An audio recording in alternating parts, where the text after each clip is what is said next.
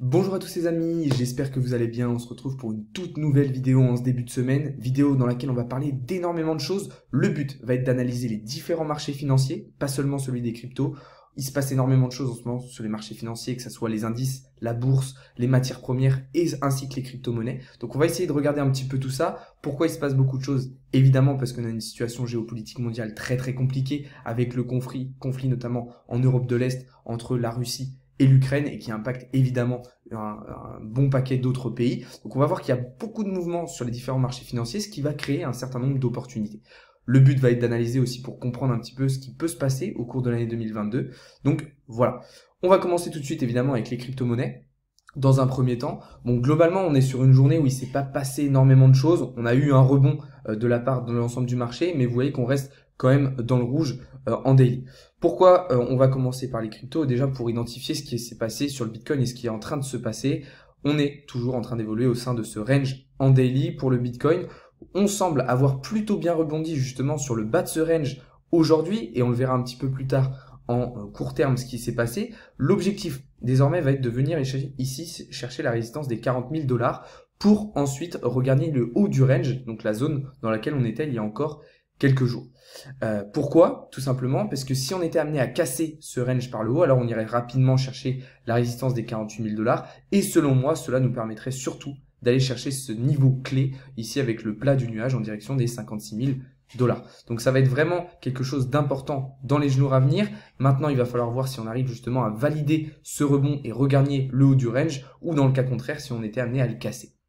Donc deux targets. Soit on a dans un premier temps une cassure par le haut qui nous emmènerait rapidement vers les 48 000 dollars, soit on a une cassure par le bas, et dans ce cas-là, on entendrait probablement une correction plus importante en direction du bas du range weekly, donc en direction des 31 000 dollars. Ce qu'il faut comprendre, c'est que dans tous les cas, on risque d'avoir un, un mouvement de cassure très très important, hein, que la cassure se fasse par le haut ou par le bas. Je pense que la cassure sera assez violente et qu'on ira rapidement chercher les targets prévus. Donc comme je vous le disais, objectif 48 000 dollars si on arrive à casser par le haut, ou bien cassure par le bas, et dans ce cas-là, on viendra chercher le bas du range weekly que vous voyez ici, en direction des 31 000 dollars.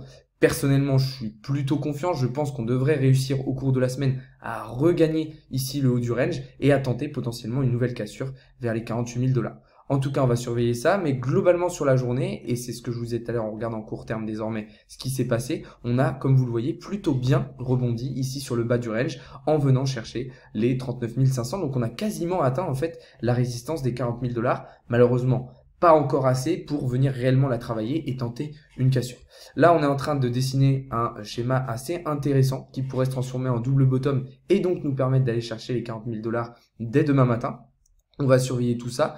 Pour l'instant, il faut rester encore prudent. Dans tous les cas, en M15, on a quand même le nuage ici qui va faire potentiellement office de support.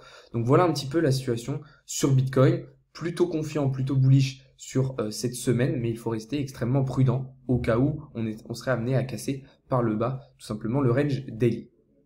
Pour Ethereum, on est actuellement en train de revenir tester ici le support des 2500 dollars. L'objectif, je le rappelle, est toujours de venir tenter une cassure du pattern d'élargissement symétrique descendant en daily qu'on voit ici. On est bien bloqué malheureusement par le nuage ici d'Ishimoku qui fait office tout simplement de résistance. L'objectif de cassure sera d'aller chercher la résistance des 4000 euh, des 4000 dollars pardon pour Ethereum et donc de rester dans cette zone de range beaucoup plus importante entre justement les 2500 et les 4000 euh, dollars. Donc on va surveiller ça attentivement.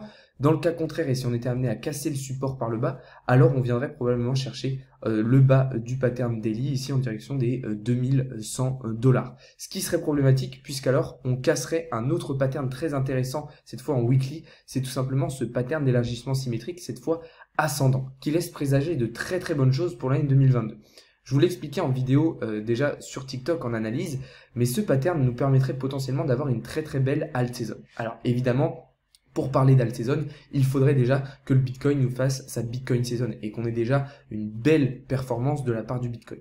Si c'est le cas, alors lorsque l'Ethereum prendrait le relais, il pourrait aller chercher des targets en direction des 7200 dollars, donc sur le haut euh, de son pattern, et entraîner donc l'ensemble des altcoins avec lui. Pourquoi? Effectivement, lors d'une alt saison, c'est l'Ethereum qui drive le marché et non plus le Bitcoin.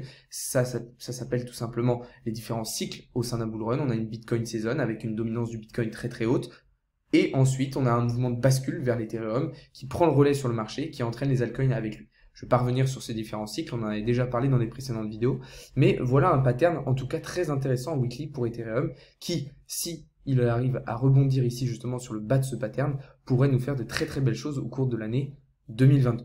Voilà pour les cryptos, on va désormais passer au euh, CAC 40. Donc, je le rappelle, le CAC 40 est tout simplement un indice boursier qui regroupe les 40 plus grosses entreprises françaises et il est en train de s'écrouler totalement depuis quelques jours. Là, on est sur le graphique en daily. Vous voyez que c'est très très compliqué.